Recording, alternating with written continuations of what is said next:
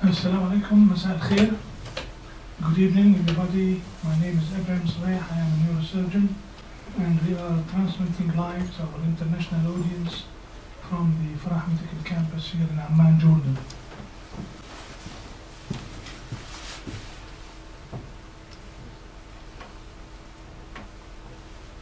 The topic for tonight would be petroclival meningiomas. So we need to discuss what is petroclival, which area skull base is that, and we'll discuss the meningiomas in that part. So anatomy again for any neurosurgeon is a must. Uh, you cannot mention anatomy of the nervous system without mentioning Albert Rhoton from Gainesville, Florida. He's the master of anatomy. He taught us anatomy that we did not know before. And I'm really proud that I, I knew this man very close. Uh, he passed away three, four years ago. So these are the bones of the skull, skull base. This is the sphenoid bone, this is the temporal bone, the occipital bone, they join together. So this part of the temporal bone joins this, which is the clivus. So speak of petroclival. So this is the skull base, anterior fossa, middle fossa, posterior fossa. This is the temporal bone in relation to the clivus. Again, this is the clivus, this is the petrous bone. We make connection here.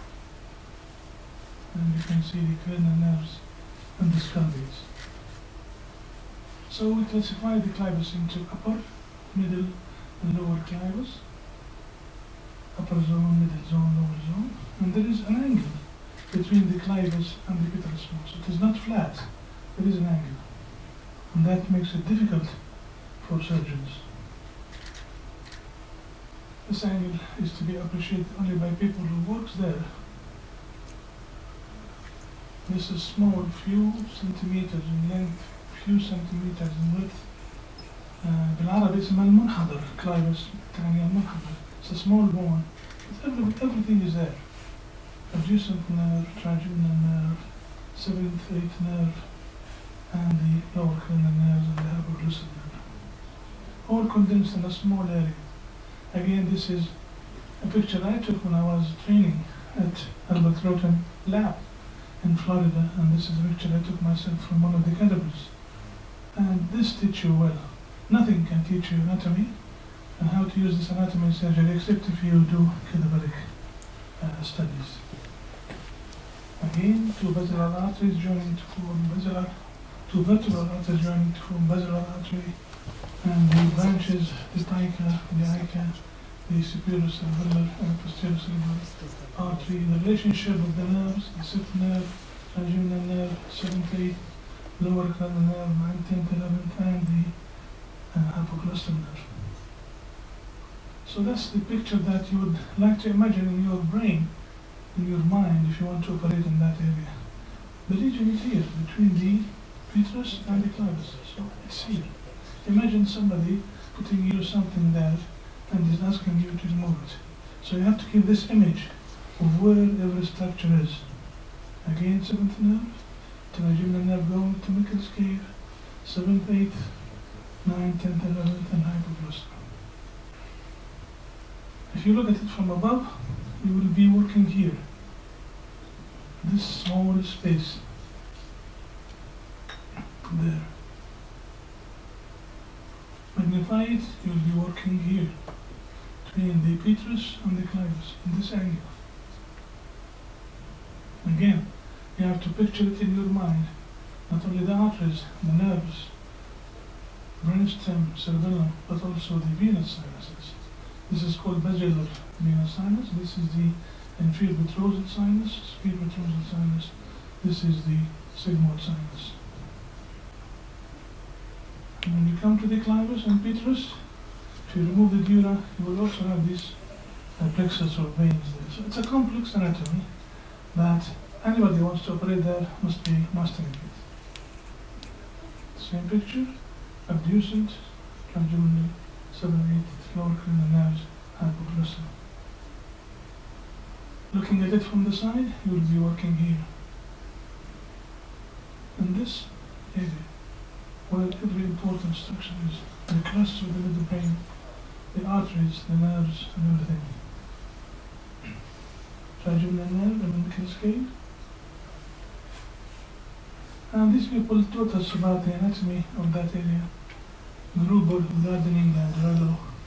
They give us these uh, names that we need to know. So this is the clivus, this is the pituitary, third nerve, fourth nerve, sixth nerve, sorry, the nerve, and the plexus. Another beautiful paper by Dr. Kabagank and Madjid Samii of that particular area. So you see the trigeminal nerve, underneath it is the carotid, this is Gruber ligament. If you remove the trigeminal, you will find the carotid artery and the Gruber ligament.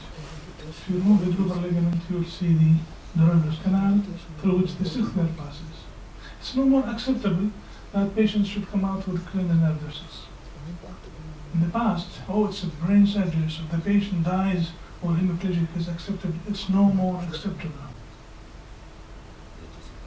So these papers uh, construct our anatomical knowledge of this particular area, the trigeminal nerve, what's the relationship with the petrosal sinus, is it underneath it, is it above it, or is it included between those two areas? So we know now what is petroclival. Let's speak about meningiomas. Harvey Cushing, the father of neurosurgery, uh, from Harvard, uh, this is the period that he lived. He classified these, he gave the name of meningioma. He coined the name meningioma. So meningiomas could be anywhere. They are the most common benign tumor in our brain. So we should know it. Supratentorial above the tent, 90%. Below the tent, 10%. This is the tent. So, when we speak about petroclival meningioma, what are we talking about? Is this the area or this area? People differ in their explanation and we'll go through that. So people agree now and we'll give the final ultimate agreement that it is medial to the cranial fifth, seventh, and eighth. So we're talking about this and the upper two-thirds of the clivus. Lower clivus is not part of this. Lower clivus is foramen magnum. So upper two-thirds of the clivus medial to the nerve. So we're talking about this area. So people like William Couldwell from Salt Lake City with Fukushima, Takanori, Taki, again, they say this is the area where the petroclival meningioma arises.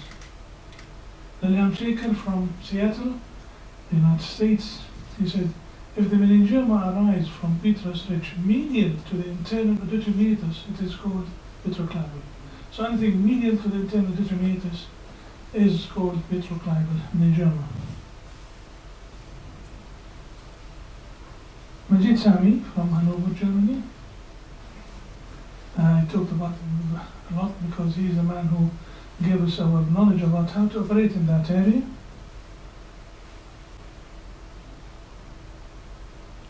He said, well, let's agree. Infratentorial meningiomas are either on the cortex of the cerebellum. Cerebellum has three surfaces, the occipital surface, the tentorial surface, and the petrous surface. So the cortical meningiomas, and then the lateral petrous group, and then the cerebellopontine group, and then petroclival. So there's a huge difference between petroclival and cerebellopontine meningiomas. And there are both, in third world countries, these are all amalgamated into meningioma of the cerebellopontine, which is wrong. Cerebellar convexity meningioma. This is convexity meningioma. This is paper by Michael Sughrue from San Francisco. This is called, it's not petroclival, it is cortical. So even the nomenclature is not correct. This is cortical. This is, these are my cases. This is cortex. So cortical meningioma, superficial. Mufti Sami said, well, cerebellopontine angle meningiomas are the next group. They are centered around the internal meatus. Either they are before it, or centered on it, or they are behind it. So let's look at that. Post meatal, so behind the meatus. Look at this. This is the meatus, and this is the tumor. So this is behind or post meatal. Centered over. This is the internal meatus centered. And you may easily, easily miss this for a vestibular schwannoma. It is a meningioma centered over the internal meatus. These are my cases. Centered over. Again, all these cases I'm showing are my cases. Look at this here.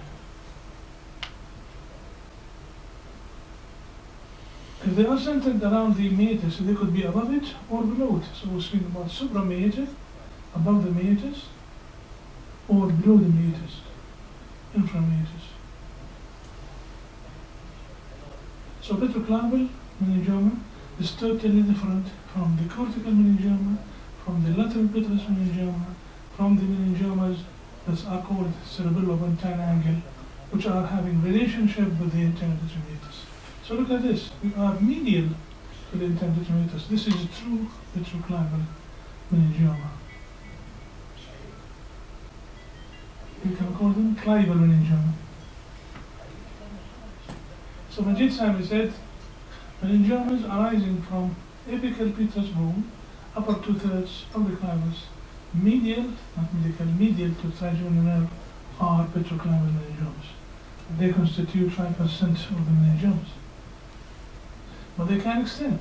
They are not only there. We can go to Meckel's cave. We can go inside the internal meatus. Go to jugular foramen. We can go to foramen magnum. And any combination of the above.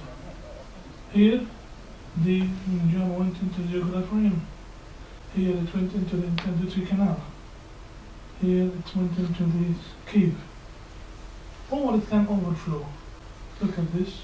It's overflowing to everywhere. Again, these are my cases.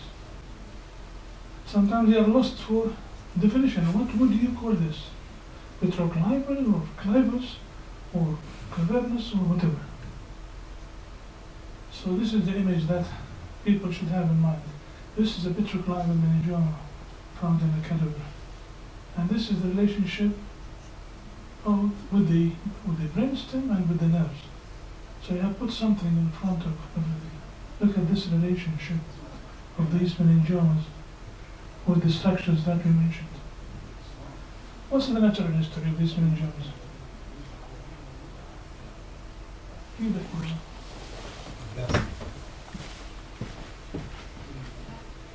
So the natural history suggests that they progressively grow with progressive neurological deterioration and death.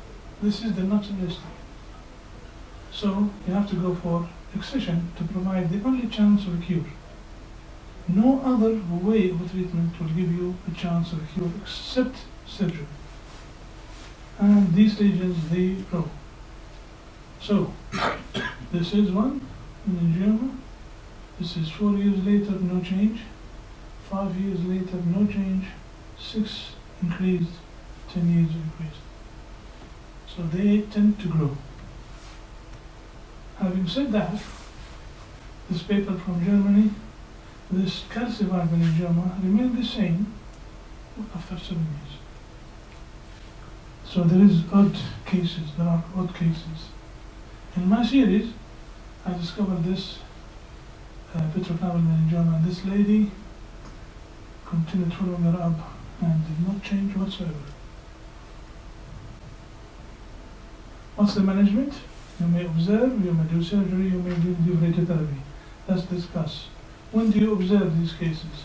If they are small, asymptomatic, or found, found incidental, or medically unstable, you are given the chance to observe. Surgery? This is recent. Up to 1970, they were inoperable. People would not even think of doing surgery for them. And then things with, with, with the signs and symptoms, yes. They will with signs and symptoms. if, if the patient has... Yes, a simple, like simple headache, uh, slight numbness in the face, and it is not increasing, yes, who would, who would wait? So complete surgical removal is the optimal, optimal treatment. But this should not be achieved at the expense of the patient. It's not I am the courageous Superman neurosurgeon, I want to remove the tumor so that I will give you a good picture. I have to respect the patient. I should not be courageous on the expense of the patient. But my aim is to remove it completely, if I can. So, not to remove totally, regardless, but to attempt complete resection by optimizing the surgical conditions. So it needs a good anesthetist, it needs a neurologist, good neurosurgeon, good oncologist to do this kind of surgery. Gross total resection is reported in about 50%. Why gross total resection? This is Simpson grade 2, not Simpson. Nobody can achieve Simpson grade 1 in the posterior. But gross total resection is reported in more than 50% of patients. Papers, Germany, 97. This is Johann Schramm, the chairman of the uh, German uh, Neurosurgical Society. He's retired now. Look at this. Radical excision. Radical excision is always the best option. The answer is yes. Except for this that is going into the cavernous sinus. We do not operate on meningiomas going inside the cavernous sinus. We learn that we cannot cure them. But anything else, we should remove. How do you reach to that area, difficult area? So many approaches, retrosigmoid, petrosal approaches, translabyrinthine, transcochlear, middle fossa approaches. So these are the many approaches that has been invented. Look at this. You have to imagine how to reach that. You want to reach here. So subtemporal, transpetrosal, retrosigmoid, and so on. Paper 92, Miriam Sekhar from Seattle. Used the subtemporal approach. 92. Subtemporal approach also was described by other authors. Large and giant petroclival meningiomas have the choice of microsurgical uh, excision. Again, subtemporal, you go underneath the temporal lobe, you incise the tentorium, and you can remove them. Petrosal, this is petrosal, superior petrosal sinus. You can come this way called petrosal, you can come this way called posterior petrosal. And it is named after Kawase. Kawase is the uh, Japanese neurosurgeon who discovered this approach by, by accident. He would tell you that he was doing some drilling in the cadaveric lab and he discovered that he can remove this bone without making any problem. So he published this paper, Kawase 91, anterior transpetrosal approach. So this is meningioma, comes anterior trosal and remove it. This is Takeshi Kawase. Uh, I'm proud to again be a member of the so many groups that uh, skull-based surgery in the world has achieved. Here we are in the Asian a group, here the international groups of this skull-based surgery. He's a great man and his wife is a great woman. This is when he invited all of us to Mount Fuji. So this is the World Federation. Pre-sigmoid, which is the posterior petrosal approach. So you come from behind. And this was championed by Al-Mefty, Ossama Al-Mefty from Syria, who migrated to the United States. He's one of the big shots of skull surgery. And he put this into papers, 2009, how to do the steel petrosal.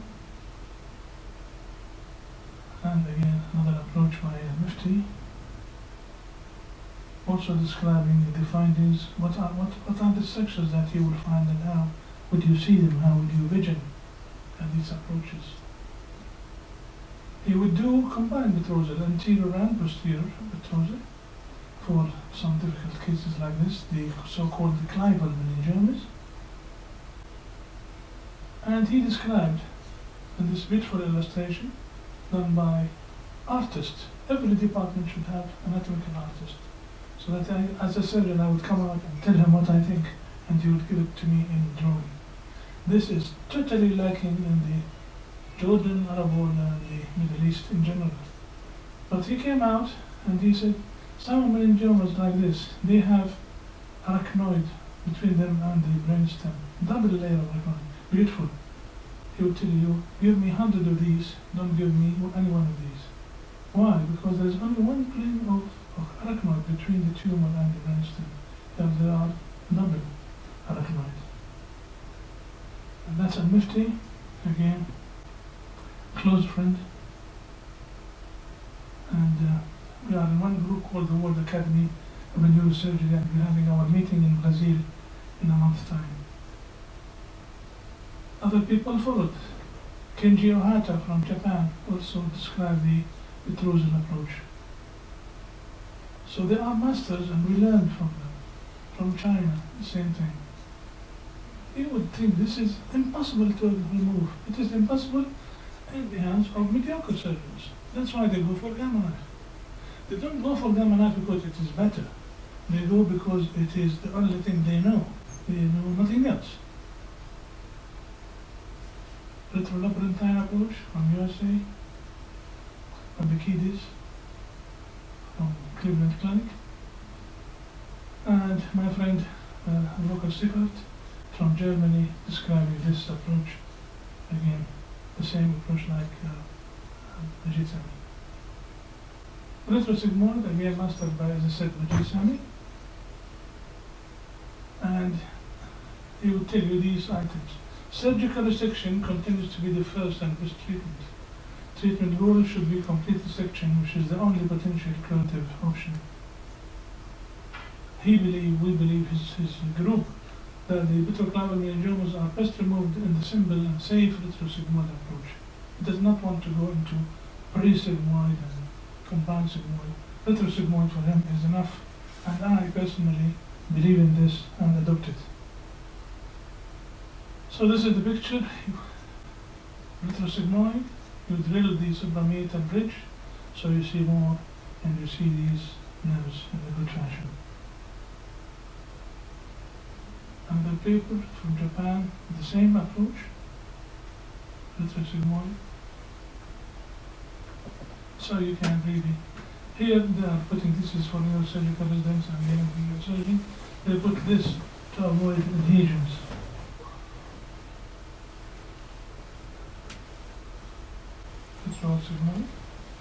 So to me, retrosigmoid is the workhorse for these kind of tumors. This is from Anil Nanda, United States, Indian chap. So, surgery is, the aim is total. But when you go there, with this aim, with this determination, I want to cure the patient by removing this tumor. And you fail because of circumstances that it is stuck to the arteries or nerves or whatever the. Then you accept defeat, you do subtotal, and then give radiosurgery. So this is only done after this or this. Some people would say, and this is a trick by the so-called mediocre neurosurgeons who are practicing the radiosurgery, oh, it's big, so we cannot treat it. Everybody will blame us. So why not go and remove part of it, and then the rest we will give them. This is wrong. And this is a statement from Madjid Samii. An approach that starts with the idea you start with the idea of subtotal resection, and then radiotherapy does not serve the patient well regarding chances of a complete excision. So it is the state of mind. The primary goal before surgery should not be subtotal excision. Otherwise, this will lead to inappropriate surgery by inexperienced surgeons with significant morbidity and compression of brainstem. There's severe compression of the brainstem and they still give gamma knife. You say, come on. Gamma knife starts, you give it today, starts after six months, completes its action in two years. Why should you keep the patient brainstem compressed for that period of time? They have no answer, except they push the button and take the money. So what's the histopathology of these tumors? Sam?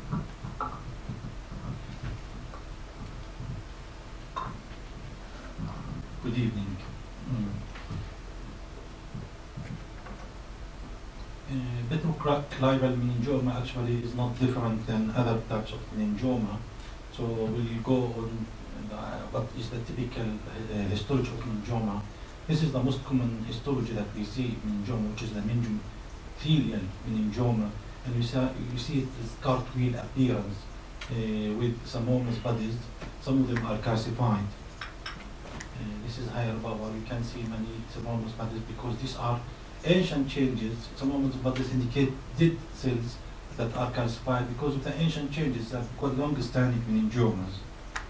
And the more psammoma bodies usually indicate probably the more progressive, innocent uh, meningioma or ancient meningioma. Sometimes you can see spindling, uh, fibroblastic pattern, and this is, can be seen usually more in fibroblastic type meningioma as you can see here. Sometimes uh, you can see dense uh, because of hyalinized uh, cells. As you can see here, very usually hypercellular. In this area, it's really converted almost to hypocellular or acellular areas because of the uh, very slowly growing and avascular supply to this area. Uh, typically, all meningiomas should have epithelial membrane antigen positivity but it's very important, you have to recognize the pattern. Usually it is multifocal, it's not in all cells as you could see, and usually it is membranous, in around membranes. Why I say you have to emphasize, because there are other tumors that can be positive in the epithelial membrane antigens, for example like ependymoma, but they have much different uh, than, uh, pattern than a, meningioma. So it's very important you, as uh, immune staining, not only to call it positive, but also to recognize the pattern of immune staining. Progesterone, usually most of these uh, meningiomas, especially if they are grade 1, uh, they are usually progesterone positive, and usually the more progesterone positivity, the better prognosis. And we have publication about uh, uh, progesterone as one of the good prognostic factors and grading for meningioma. P53 usually, usually is negative, even in the atypical meningiomas, but when it is positive, it's bad prognosis. Ki-67 usually in low grade meningiomas or grade WH or grade 1. In our publication, it's usually uh, 1.5, 1%. If it is the grade 2, usually is uh, 5 to 6%. If it is anaplastic, it may reach up to 20%. So this is uh, usually we call it fibroblastic meningioma it is WH grade 1. Uh, and there are other types of meningiomas. Uh, this is one of the publications that we have predictive markers for meningioma grading, uh, how to grade meningiomas. Uh, we use the tumor size. You can see uh, as you go from grade 1 to grade 2 is not much, but grade 3 usually they present with much larger tumor size. These are all our cases, uh, Dr. Ibrahim and me cases. Uh, is more common. you can see even in grade 1 you can see some atypia, but they are usually few number of cells. But you can see in grade 3, most of the cells are atypical. Uh, small cell component, small cell component can be seen in usually most of the time in grade 2 and uh, other than other grades. Uh, so it's usually one of the features that is atypical in meningioma, not uh, the benign one. Brain invasion, brain invasion usually is not seen by definition in grade 1 and is seen in grade 2 and much more common for almost all cases that we have in grade 3 or anaplastic meningioma, they have brain invasion. So brain invasion is an ominous sign. It used to be a WHO classification in the 90s that uh, they consider when brain invasion, this is called malignant. But they discovered no, we, we really have to uh, not consider it as malignant. It can be grade 2 and still have brain invasion. And this is support, support uh, our uh, uh, study bone invasion, this is uh, actually very important. And I mentioned to one of the famous neuropathologists that came to Jordan in the Dead Sea, we had, I, he attended this lecture. So I told him that bone invasion in his definition is not a case of uh, grading of meningioma. But I mentioned to him that this in our study, we had it. We had it, it's more common in uh, grade 3 compared to grade 2 to compared to grade 1. And then he commented on that, he said that Japanese and European consider this is part of the grading, but they are in higher grade meningiomas in our study, uh, almost half of the higher grades, but it's much less in uh, lower grade, and the pattern also is much is different. Usually necrosis in the higher grade in meningioma is geographic type necrosis, as if somebody is writing, uh, is drawing a map, but in the uh, smaller grade or lower grade, it's usually spotty, just small spots of necrosis. So it's very important not also to mention the necrosis, also to mention the pattern of necrosis. Mitotic count also is very, very important. Also, this is one of the things that we I differ with uh, from the the new, new yeah, the standard neuropathology WHO classification. I told him that we found that grade 2 usually mitotic figures is 1.2 in our cases, and uh, this is an actual study. Uh, the WHO consider four or more mitotic figures to classify it as two. I think with, with four, probably we are missing some cases of two and uh, un, uh, undergrading them as one. So I think we should really not consider four mitotic figures as the, uh, the point of differentiation between grade 1 and grade 2, uh, but still WHO, WHO consider it as uh, a grade of uh, 2 is 4 and 1 or more. P53, most of them in Jones actually are negative for P53, even the higher grades, you can see even the higher grades, we usually they are negative, but when it's really, really present, it's more present in the higher grades. P63 also, P63 uh, we differentiate between whether it's nuclear staining or uh, cytoplasmic staining. Cytoplasmic staining is not much of importance in the grading, but when it is nuclear staining, it's more uh, common in higher grade meningioma. Progesterone, the other way around, it's uh, inversely related to uh, meningioma grading. The more progesterone uh, receptors uh, percentage, the better grades. You, you can see in, in grade 1 reaching up to 90%, grade 3 most of the time it's really negative. Uh, Ki-67 uh, that we mentioned in grade 1 usually it's 2.9, you know, it's the sixth uh, grade 2 and it's very very high in uh, grade 3. We always use K7 in all our cases and I think it's very important. Still now WHO uh, ca- does not consider case 7 part of the uh, grading although they consider it in the uh, calling it whether it's grade 2 or 3 or 1 but not, not part of the criteria. I think probably is going to probably change because there's not much data, but our study confirms that K7 is uh, really very important. Uh, in our study, low grade more common in females, but higher grades are more common in males. Uh, atypia, small cell component, necrosis, bone invasion, brain invasion, necrosis, more common as you go, go from lower grade to higher grade. Mitotic figures, and I think this is very, very, very important in my opinion. In grade one, you can see some mitotic figures, but usually very uh, less than one. Uh, in grade two, uh, you can see is mitotic figures uh, 1.2 to 2. So I think any mitotic figures should be taken seriously. I don't think we have to wait really for four mitosis or more to to grade 2 or grade 3. Uh, and grade 3 usually is higher mitotic figures. Uh, markers like P53, P63 are more in higher grades, just progesterone in lower grades.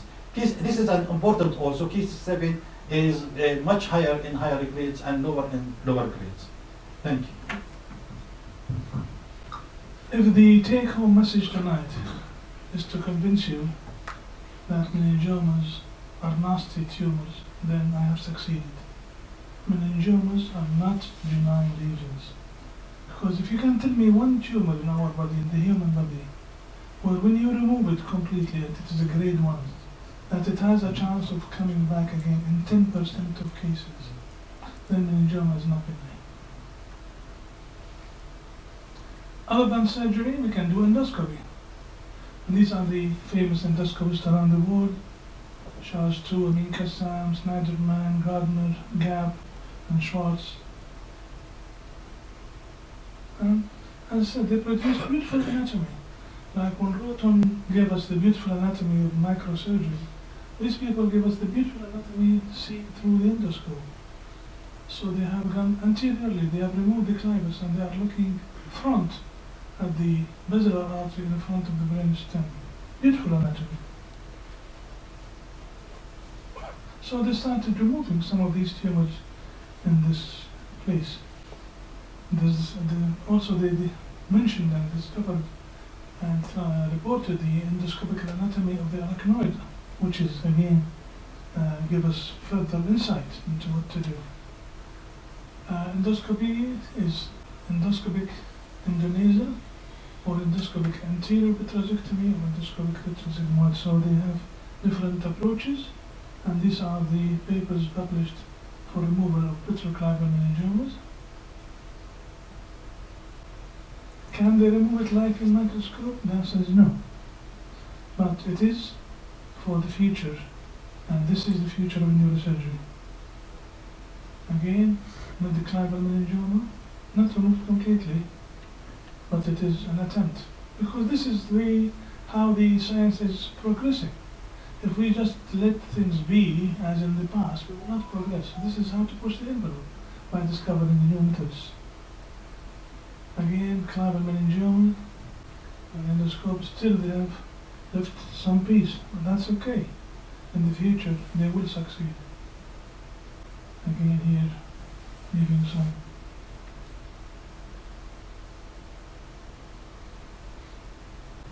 So different uh, approaches using the endoscope for these tumors,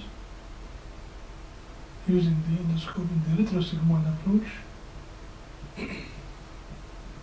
and again from Italy, again this is from Paolo Cappabianca and his group in, uh, in, Italy, meningioma using the endoscope. So what is the difference between microscope and endoscope? Microscope is 3D. Endoscope at this moment is 2D, but they are working on 3D endoscope. So once that is done and it is popularized, the thing will explode. Learning curve of endoscope is longer. The corridors you are working through are narrow because you're using the endoscope. You may cause vascular injuries, and if you do, then you cannot repair it because you are in a narrow corridor. So difficulty controlling bleeding. Tumor consistency, if it is hard, you cannot remove it. You actually open the dura, so you will cause CSF leak.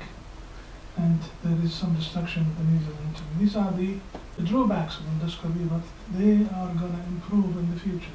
But wouldn't the drawbacks of inability of controlling bleeding the way a surgeon would like to be a major hurdle for this? Absolutely it is. Absolutely. No doubt about Because it. the- no matter how good the surgeon is, as you very well know, You can't. bleeding Yes. will happen. So, uh, Absolutely.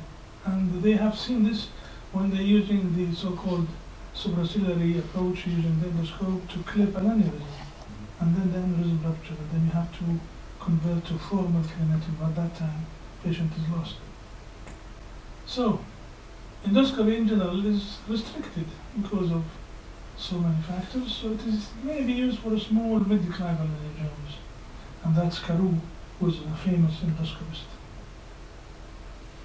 Most recent studies of endoscopy, meningiomas are anatomical studies still there, mostly anatomical rather than clinical.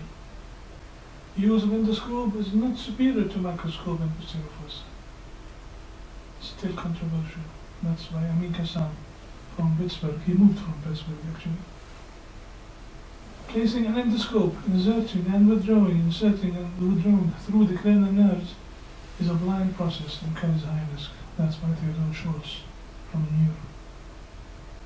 The corridor between internal uh, determinatus or canal and jugular foramen must not must not be entered by endoscope by Michael Gaab. So it has a place, but its place definitely lies in the future. What about radiotherapy and radiosurgery? Don't give radiotherapy and radiosurgery upfront. That's not good. Everybody says that repeatedly, but those people would not listen. Radiotherapy mainly for these meningiomas would be proton therapy, and proton therapy is only available in four or five centers around the world. Remember, radiotherapy or radiosurgery carries the risks that we know, but we still use radiotherapy and radiosurgery. But don't use it as the first line. These are the cases treated by radiosurgery. Radiosurgery for para-internal retrocanal meningiomas. Look at this here. I think you can read or not. Six months, 12 months, 24 months, and so on. Do you think there's any difference between this and that? They say this is control of the tumor. Control of what the tumor is still the same. Examples. Gamma knife, two years after. Oh, the tumor has shrunk, but it's still there. Five years, tumor is still there. Two years, tumor is still there.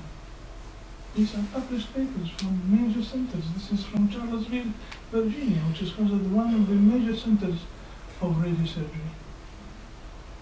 France, by John Regis from Marseille. Gamma knife for this tumor causing pressure on the brainstem. Still they give it gamma knife.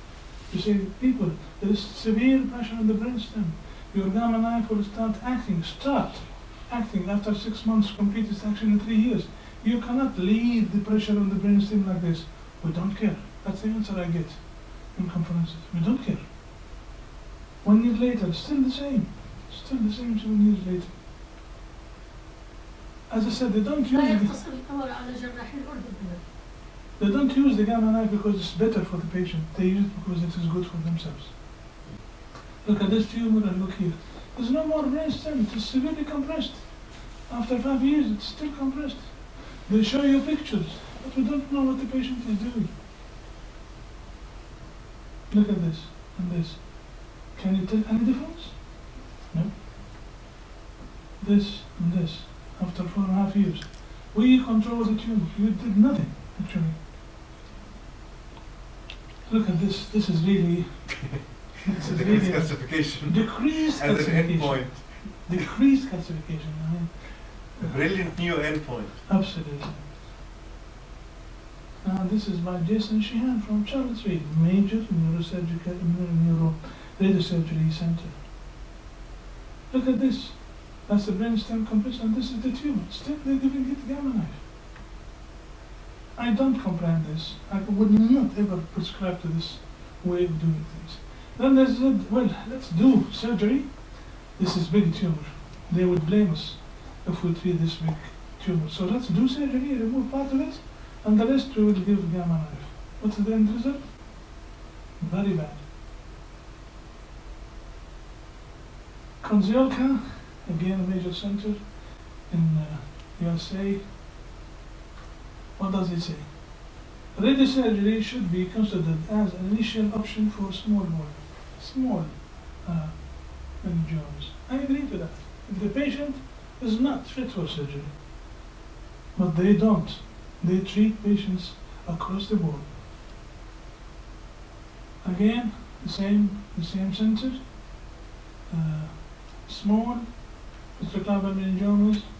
Of course, if they are small, they are, they good for surgery. Why should I give them? They do surgery. If they are large, it is not good for gamma knife. So both small and large, you should not be giving them life. Again here, Dade Lunsford, Flickinger, and, and Kondziolka, the same center. Resection, they, uh, they accept and they, uh, they, they admitted resection is the first line option for these meningiomas. But during the last 20 years, stereotactic surgery has become an alternative option. It is an alternative option for those patients who cannot have the surgery because they are medically ill, very ill, or very old. Oh, okay, what can we do? They come up with an, another trick. Let's give staged radiosurgery. Radiosurgery is to give the dose in one session. So you give it now. Within two hours, you give the 20 grays or 30 grays, or in case of trigeminal neuralgia, 90 grays. So they say we'll give radiation now, and five months later we'll give another dose. Another stupid twist of mind. Because this is radiotherapy, it's not radiosurgery. We mentioned that. So I've come to my series. It's a climb in Angola from January 19 to 18. And why 18? Why not consider the rest of 2018, 2019? Because you have to leave two years for meningioma for a follow-up. You cannot include cases that you have done yesterday or the last year. And there they are.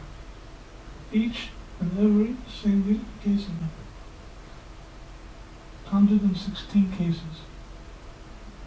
But 34 patients were lost for follow-up, so I cannot present them. I have done the surgery and they disappeared. So how can I tell what's the result of my surgery?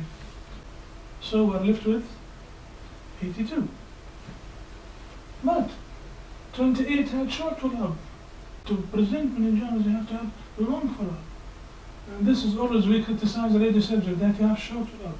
So we'll not fall into the same trap. So we say we will not include these because they have short follow-up. So 54 had long follow-up. And these are the cases that I'm presenting. 54 of petroclival meningiomas that I operated and followed for long, long years. I'm talking in some cases 20 years, 15 years and so on. Females, more than males. This is a known fact. Meningiomas are commoner in females. And the reason is because you have estrogen and progesterone receptors. And the fact that meningiomas in female, the second and third trimester of pregnancy increase in size is well known, except in the Arab world and Middle East. Patient who's pregnant gets blind, it gets whatever. They say, oh, this is toxemia pregnancy. They never think of meningiomas increasing in size during pregnancy. So like other centers, like other publications, females in my series is more than males. And as Dr. Falsak said, females they have grade 1 more, males have grade 3 more. So we're equal. Uh, again, back to Kawase, Takeshi. Takeshi Kawase, he described this in his paper. He said, let's classify these petroclival, not haphazardly. We'll call this paraclivus, this is cavernous sinus, this is the tentorium, this is petrous apex. So I thought this is a good idea. Very good idea. So I classified my cases according to Takeshi Kawase, and he agreed to this actually, I contacted him. So this is a paraclivus. Just the clivus, and this is the attachment. If you look what's the relationship here with the brainstem, with the posterior clinoid process, with the trigeminal nerve, with the third nerve, it's different from other tumors called cavernous sinus tumor. So this is the tumor going to the cavernous sinus. So this relationship of this tumor is different from this tumor. So that would help you knowing what kind of meningiomas you are dealing with. Third type is tentorial. Fourth type is petrous. So different relationship with the brainstem and the cranial nerves. So here we are. I classified my 54 cases into upper clivus, 20 cavernous sinus, 15 tentorial, 12 petrous apex, 7. These are the upper climbers cases, 20 cases. These are all mine. This is the cavernous sinus. You can see they are going into the cavernous sinus. Tentorial are nearly at the tent.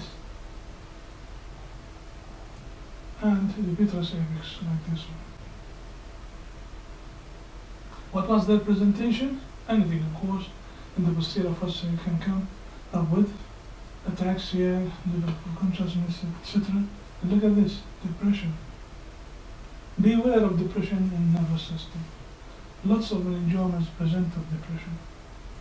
And in a study when I was in UK, they went into the mental institutes who found people who were instituted in these mental hospitals. That was in the 80, 85.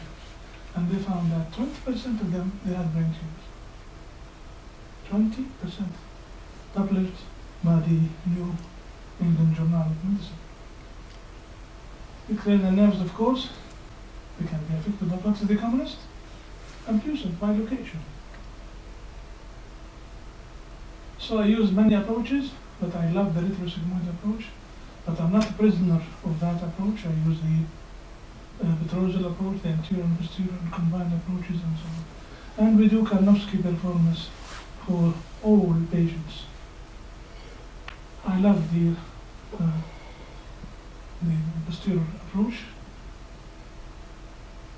And we're doing it in the sitting position under the uh, observation of cranial nerve function.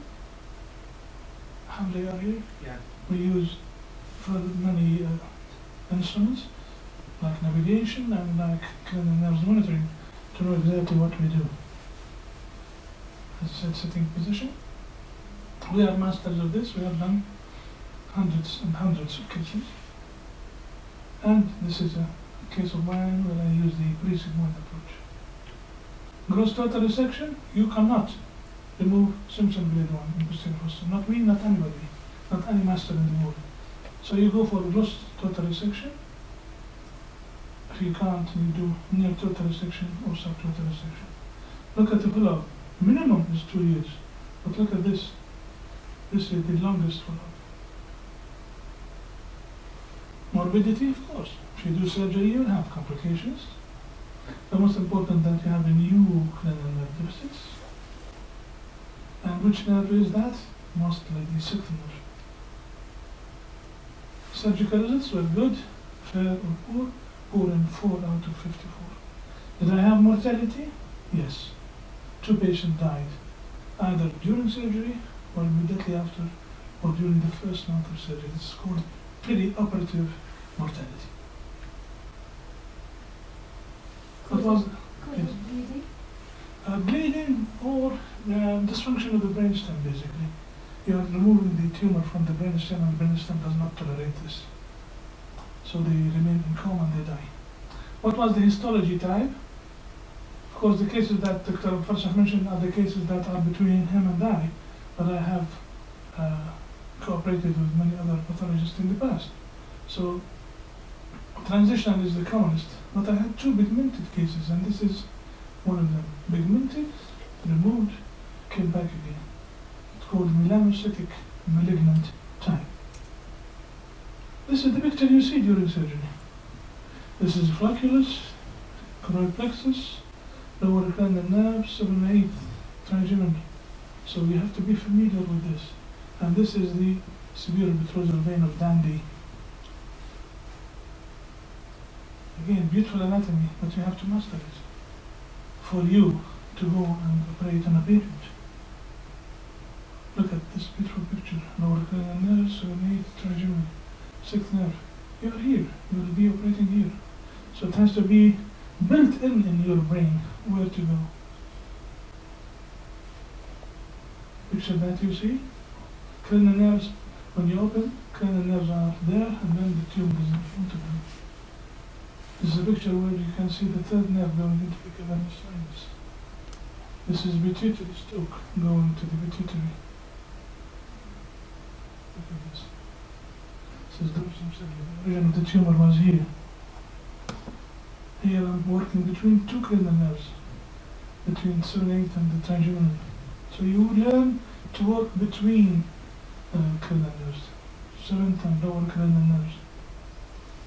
And this is the facial, this is lower cranial, and this is the abducent.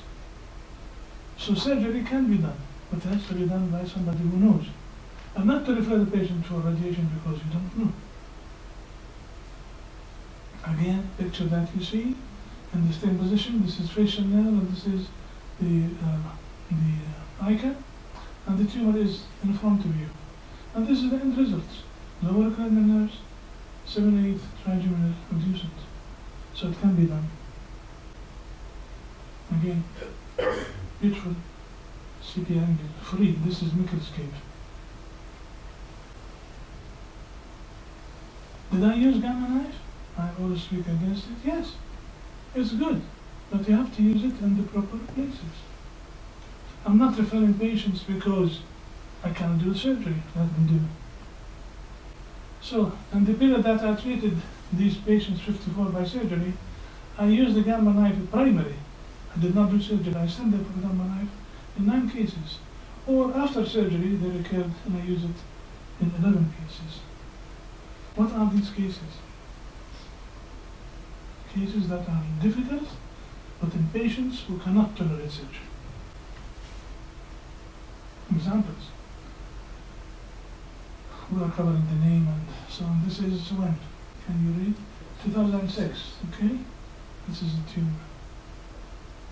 How old? 76. Unfit for surgery. 73. Unfit for surgery. I treated these patients gamma. This is a patient with this tumor, the so-called Cabana style. Upper clivus going to the cavernous sinus. So I went in, removed all the tumor except that in the cavernous sinus, and we agreed we don't operate on, inside the cavernous sinus. So I gave this gamma knife. Very fair. Or this patient who had previous surgery, somebody removed his temporal lobe. Mediocre surgeon did not accept that he cannot do surgery. He removed the temporal lobe of a lawyer and rendered him um, really in a very bad state, and the tumor was still there. So I went in and removed as much as possible and treated the rest with knife. I'm presenting to you the images of my series of cases. What did I learn? What can we learn from the images of these patients? CT is very important. Petroclival meningioma, look at this, calcification. It's important. Tumor infiltrating the petrous apex. Look at this, tumor destroying the uterus. Here it's eating away the uterus. So CT is essential. So you don't just do MRI and say, oh, there's a tumor, let's hit it with gamma or let's operate. You have to learn more. So CT scan of the petrous bone, MRA, MRV are part and parcel of this management. Look at this. So the calcification here. The internal determinatus is open with calcification in it. MRI. In the MRI you would see hydrocephalus, although the tumor is away from the ventricular system. It is not blocking the aqueduct of Sylvius, it is not blocking the fourth ventricle, but they develop hydrocephalus. The reason? Meningiomas and vestibular schwannomas, they secrete high protein and they would block and clog the arachnoid villi and they stop the absorption CSF. You look whether the tumor is unilateral or bilateral. But in this case, bilateral, you have to think of sarcoidosis. I did all the tests for sarcoidosis, was negative. This was a meningioma. Unusual case of mine. Size could be small, could be huge. What is the origin from the clivus? Upper clivus, middle clivus, or all of the clivus? Shape. Look at the shape and the nodularity. It's all important. Are they going into the foramen? Yes, they are going into the foramen here. Origin of the clivus as mentioned. Is there any place of cleavage? Yes, there is a good place of cleavage. This is a good case. Good case. This is bad case. I would love that I disappear or the patient disappear. I don't like to operate on these ones. Look at here or here. So plan of cleavage is important. Look at here. There's no plan of cleavage whatsoever. Why are we looking at this? Because I have to be honest and speak to the patient about prognosis and complications. Relationship with the brainstem. Look at this tumor inside the brainstem, inside with the brain, inside the pons, and it is nodular. Very bad case. Look at here. Invaginating itself inside the brainstem. Look at here how much the brainstem is affected. They would give gamma knife for this, although the brainstem, they have no hesitation because they cannot operate. So this is the brainstem compression. And I swear to you, swear to God, that I ask them these questions. How would you dare give this patient with this severe brainstem compression a gamma knife? The answer is, I don't care. Nodularity, look at this. This is a bad case, nodularity. Nodularity again. Relationship brainstem causing edema. When you see edema, it means higher invasion has been done. So the tumor is inside the neural tissue, and it will end with disaster. They may die. And these patients, I tell the relatives, your patient may die until. That's the, the understanding of these edema cases. The edema, severe edema. What about the vascular relationship? Look at this tumor and look at the relationship with the posterior cerebral artery. So you learn a lot from doing the MRA. Look at here, the, the basilar vertebra is completely compressed by this tumor. Here, it's pushed the basilar backwards. Basilar is inside the tumor. Basilar and its branches are inside the tumor. Please go away. See somebody else. Branches inside. These are all my cases. I'm presenting you the lessons I learned from my cases. Again, this is inside. No, they're fine. I would operate, but I would be honest with the patient and tell them what's the what's the outcome. I will show some cases actually. Again, look at here. You don't see the level, it's completely.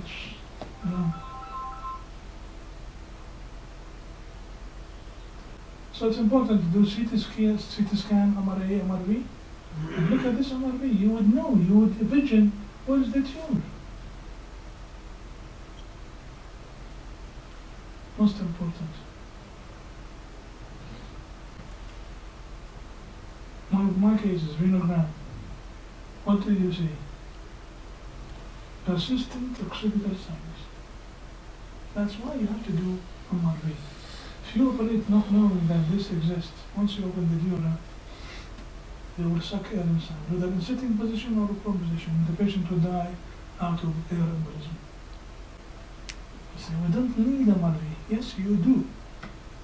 And you need to see what's the superior petrosal sinus is doing, what's the inferior petrosal sinus is doing, what's the cavernous sinus doing, what's the sphenoparietal sinus is doing, superficial intercerebral, vein of Labbé. So many information that we need to know. Venous system? Oh, it's nothing. Veins. We cut them. It's not important. And the patient will die. Papers like this, like from Albert Rhoton, describing the relationship of the petrosal vein with the, with the sinus. Important. And this paper from Japan also. So many papers describing the venous anatomy that people do not know. People would sit for the exam, Jordanian board, Egyptian board, Pakistani board, nobody would ask them about venous system. They don't care. Beautiful paper by also by Ossama Al-Mefty about vein of Labbé. We called it triangle of Bermuda. You may need to embolize these tumors. And this is one case that I embolized. It's coming from the external carotid, it's coming from the vertebral and its branches. So we, this is the case, and this is the uh, embolization material. What's the differential diagnosis of these cases? Petroclival meningiomas. Look at this. Huge. Why do we persist in saying this? Because if you just think of meningioma, your brain will get rusty. You will not think of anything else. May I just I will just go through them and I'll ask you to comment. Look at this beautiful differential diagnosis that I came across. Beautiful. If it is extraaxial, if it is intraaxial, if it is in the skull base, T1, T2, the relationship, let's go through them quickly. They are all in the same place. Schwannomas, vagus nerve schwannomas, meningiomas of course, jugular vein, epidermoid tumors, acoustic neuromas, glioma going into laterally like this, epidermoid going laterally like this, chondrosarcoma, giant cell tumor, endolymphatic, endolymphatic carcinoma, yes, they do exist. Hemangioblastoma, they don't only occur here, They're not all cystic. They can be totally solid. Lipoma, glomus jugulare. Oh, it's easy. Let's go in. They would kill the patient. Neurosarcoidosis, treated with a gamma knife. Metastasis, the same thing. Choroid plexus, going through the gutter recess of the fourth ventricle. Lymphoma, ependymoma, atypical ATRT, and cyst, DNET, and so on. Chondroma, chondrosarcoma, I don't know what to repeat them. Cell medulloblastoma, and uh, cholesterol granuloma. We don't, don't irradiate cholesterol granuloma. Remember this, gamma knife is given without histological verification. They don't do biopsy. They just, oh, this is meningioma, let's treat. It's the last question. Can I just finish this I and. I take your question? Lymphoma, look at this, It looks very much like trochanter meningioma. Medulloblastoma, histiocytosis, tuberculoma. And look at this paper, beautiful paper, designed to form the Dorfman's disease. It looks like the trochanter meningioma, yet it was not. Yes, please. Why do you suspect sarcoidosis in that case? Typically, Because bilateral, bilateral Other than It's, it's the one of the uh, causes of thickened dura, sarcoidosis, Yes. TB, post-radiation, post-operative, and so on. So Yes. whenever you see the thickened dura, does not mean this is a meningioma. It could be so many. Some- Thank you. But again, yani, those were histo- histopathologically proven cases, so the proof actually wasn't pathology. Um, I cannot emphasize this enough. There is nothing benign about a benign brain tumor. Meningiomas that are not dealt with properly in the get-go, they, the patient is doomed for a, a horrible course of recurrent tumors, uh, uh, and, um, and that will uh, uh, that will cause a lot of morbidity and mortality uh, in their life. Now, if I can just emphasize a few points here, where the the the implications would have been tremendous had this patient received radiotherapy stereotactically with the idea that this is uh, meningioma. Now imagine if you miss uh, if you miss uh, and you don't know that the patient has chondrosarcoma. Now the mainstay of treatment would be optimal resection because really nothing works. Uh, chemotherapy doesn't work, radiotherapy doesn't work. Um, and imagine if you miss a metastasis because you haven't bothered to examine the patient properly, and the patient simply had a breast mass that told nobody about, and you just uh, gave her uh, focal, focal radiotherapy to emit on, in the brain. Now, the implications when you miss some a lymphoma that is masquerading as uh, a meningioma are tremendous because So many cases did we have last week. two and, and this is a very rare tumor. Uh, primary cystic lymphoma is really very rare, and I I I raise my uh, galette and uh, admiration of the professionalism of uh, Professor Sbeih, who refuses to operate upon cases that he suspects that they may harbor lymphoma because the treatment of choice would be high dose methotrexate. Uh, and we cases- attempt The two cases were given dexamethasone. uh, before we saw them. And we continue saying the same sermon. Uh, we're preaching to the choir. I know that everybody in this room believes exactly what we're saying. But this pattern of malpractice continues to happen. Um, the problem of giving steroids beforehand is that when you actually get to the biopsy, you may see nothing. And if the this mass disappears completely, this is not a good thing because you can't get the diagnosis. The lymphoma would come back in a, uh, with vengeance and kill the patient. The reason why we emphasize the lymphoma theme, be it primary, particularly primary lymphoma when the, when stopped, uh, in, uh, second involvement by systemic lymphoma, is the treatment is so radically different where the mainstay is high dose methotrexate in an attempt to delay radiotherapy as much as possible, and it's definitely not surgery. Um, and these cases happen, and they happen masquerading in the most unusual of cases. On the same theme, sarcoid uh, can be missed and can be given stereotactic radiotherapy, and the patient would succumb to something that would have been treated properly with steroids once you have made the diagnosis. And the problem is differentiating pathologically sarcoids from lymphoma may not necessarily be a very easy thing, particularly for patients who were pre-treated with, with steroids. And I really don't, don't understand the rationale for giving steroids uh, when you haven't had the diagnosis. And if you really are worried about the mass effect, this is why there is something called management, for God's sake. And I'm not talking about life-saving measures where you really have to give the steroids because the patient is in pending animation, etc. Uh, I'm talking about things that you really could have bought time uh, uh, by getting the diagnosis. Again, the, the, the pattern of meds that are missed is a, is a recurrent theme. Now, when it comes to medulloblastomas and ependymomas, the mainstay of treatment would be optimal resection and then radiotherapy, that may be craniospinal in the case of medulloblastoma. And then, uh, depending upon the age of the patient, the adjuvant radiotherapy may be delayed, but for adults, radiotherapy and then uh, adjuvant in the form of platinum-based uh, uh, chemotherapy. And if these patients get stereotactic radiotherapy alone, they're going, they're doomed. I mean, they, these patients are treated with curative intent. Um, tuberculosis, for God's sake, we are not in Switzerland where tuberculosis does not exist, though tuberculosis does exist now in Switzerland because of the immigration waves. Uh, tuberculosis is endemic in our part of the world, and it's something that's frequently forgotten. And histiocytosis, you let the patient succumb to dying of histiocytosis. What happens with stereotactic radiotherapy in the form of gamma knife is that there's no pathological proof.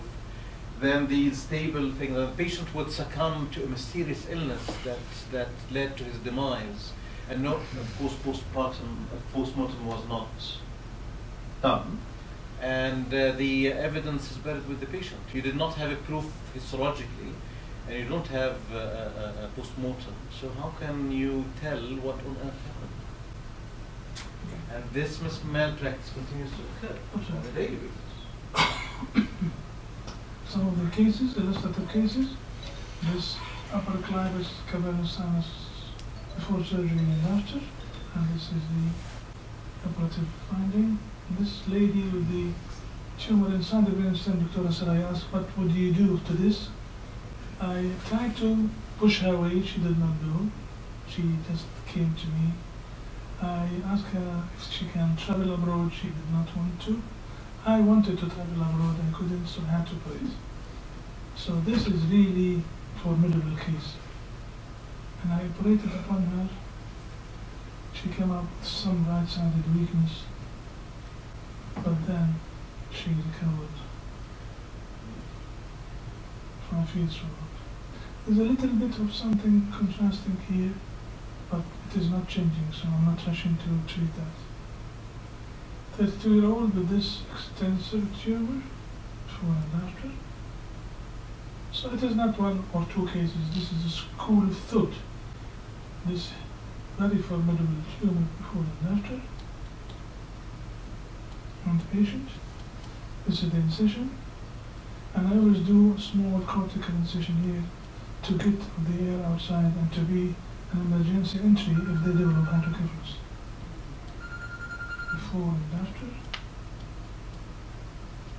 This was done surgically. They have not removed the tumor, they have removed the cerebellum. And they say, oh, we'll send that for radiation. Of course, you cannot give radiation to this, so we operated. So even in cases that has been operated before, you still can operate. Before and after, before and after. This lady also, before and after, and follow. I'll just show you one or two videos and we'll be finished. You have question, Yes. is there a line or something you can tell for those tumors that are invading the brainstem that this is the difference, line of difference between the uh, tumor and the brainstem? I'm not speaking about the case of the double arachnoid.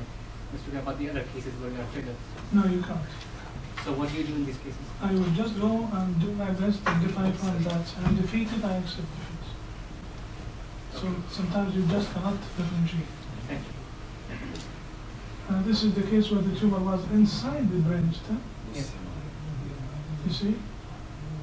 This is the lady I showed. I went to kick her away, but she did not do. So this is a piece of the tumor inside.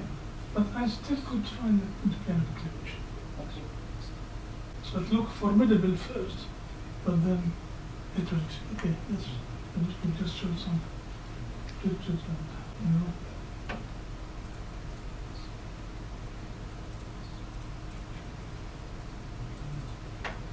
Your sitting position, we on the right side, this is midline on the right side.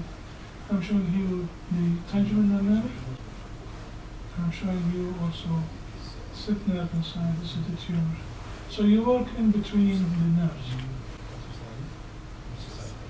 Superior petrosal vein, vein of Dandy.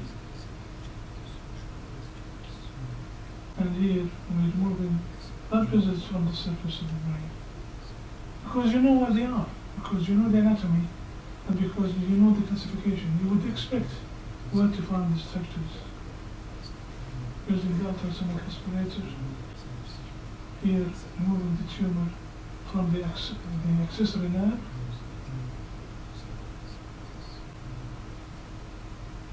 Okay, another one. This is retinal artery.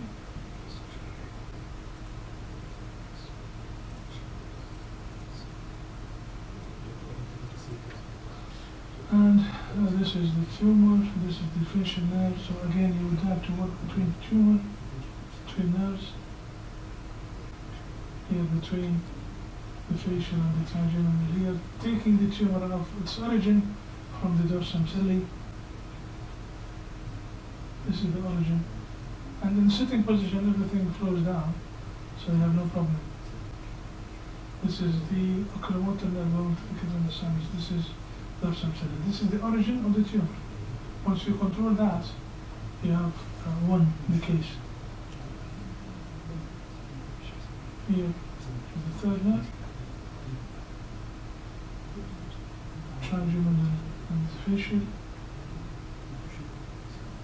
And here you'll soon see the sixth nerve. This little arachnoid here contains the sixth nerve. Because I know where to find the sixth nerve. And of course the sixth and the sixth and so on. So this is the end of it. Dorsum cellular clear. The stalk going into the pituitary gland. Third nerve going to the cavernous sinus. Beautiful anatomy created by the tumor. Would But there be clear nerve deficits if you keep? No. They would not be. No. In this way, this patient did not have any terminal illness. Uh, I think we'll finish. We'll stop there. And uh, I just want to thank all the people in this hospital, nurses, doctors, radiologists, everybody, because they are the ones uh, that gave me this chance to have successful surgery. Thank you very much. Any questions, any comments? Please, Dr. Rock. لعلك أكثر إنسان في الأردن تذكر كلمة مديوكر قبل أسبوع كنت أنا في لجنه المصطلحات الطبية في مجمع اللغة العربية وحاولنا نجد المدلول الذي يحاكي كلمة مدلول. فقلت لهم سأسأل الدكتور إبراهيم صبيح لأنه هو مختص في بهذه الكلمة. ما هو المدلول الادق لكلمه مدلول؟ متواضع متواضع. لا لا غير غير غير. مديوكر هو المهرج. مهرج المنطقة هل نقول هنا شبه شبه جراح؟ أشباه الجراح يا ريت. رفعنا قيمتهم ما هي الكلمة التي أصلا جراح المهرج؟ نعم. تبع شو اسمه؟ جوكر جوكر بالاوسكار الكلمة questions or comments?